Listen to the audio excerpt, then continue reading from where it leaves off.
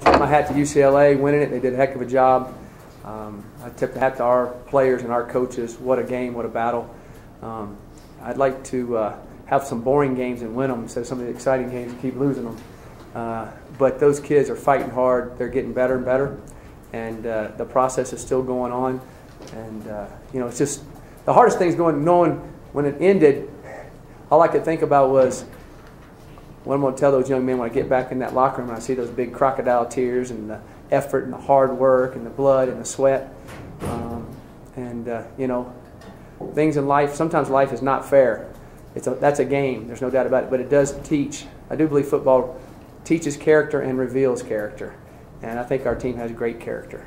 And um, they'll keep battling, battling and battling, and we'll, we'll bounce back and, and uh, start getting these. So, uh, uh also, I'd like to make sure if you're a praying person, please pray for Tedric. Um, and they took him off. He was moving, um, but he was really scared. They, so hopefully everything's going to be all right um, with him.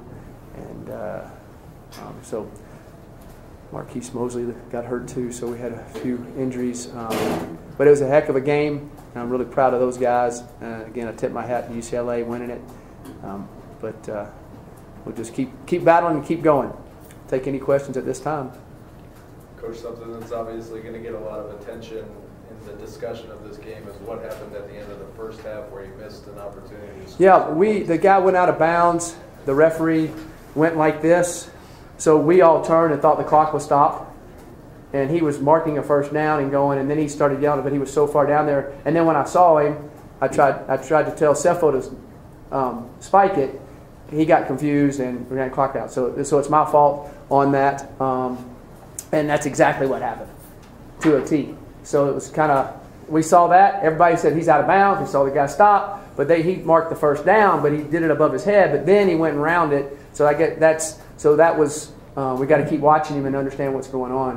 Um, and uh, and then if we could have spiked it there, we could have got the, the, the, the field goal off. But um, miscommunication there, so I take complete fault for that.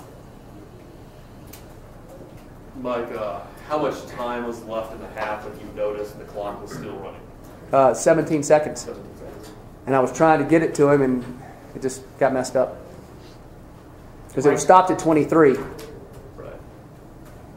Mike, can you describe the performance from your running backs today? I think you got 233 yards on the ground today. Yeah, they ran really well. the offensive line did a great job. Um, we felt like we could run the ball on them when coming in and uh, uh, we just kept getting after it. And the offensive line did a good job staying on. The running back stayed fresh and started breaking tackles and, and making plays. It was uh, fun to watch. Coach, your defense obviously played really well in the fourth quarter, and then in the second possession for UCLA and in overtime, you couldn't get a hand on Brett Hundley. What happened? Um, the first one we played the we played the draw correctly. We ran a stunt and he made a guy miss. Um, the next one we had a stunt on and uh, young man didn't step outside for the quarterback.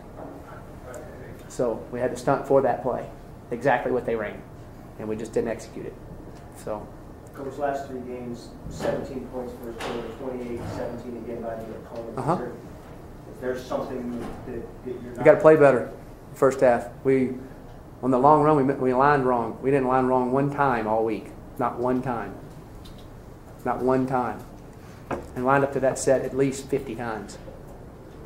That exact set. We just got to get the nervous over us and line up and play right. Will Oliver with three clutch field goals uh, after what happened at Cal. Was that good to you know, see from him?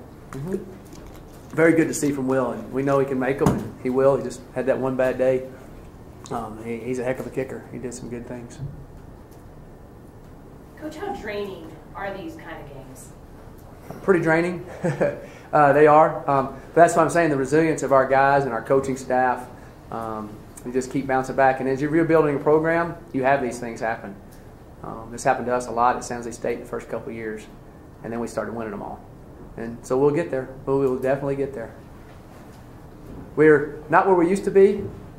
We're not where we want to be, but we're definitely on the way. There's no doubt about that. Obviously, last week the train seemed to get off the tracks a little bit. You didn't get the win this week, but is it a little bit encouraging to see the train kind of get back on the tracks? Yeah, I, I knew they'd come back and play. We just spotted them 28 points, and then we played them toe to toe after that.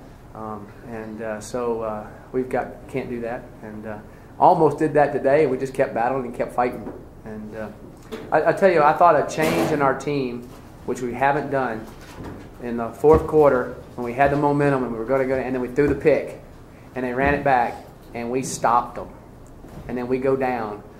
To me, I saw a change, a change in our football team in a, in a Pac-12 game against a top 25 team. That hadn't been done, and uh, I was really proud of that.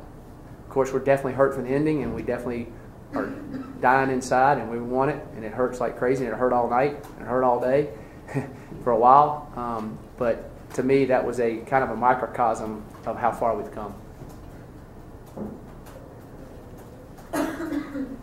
So I'm going to have a happy one in here before long, I promise you. We'll have a happy one. Thank you.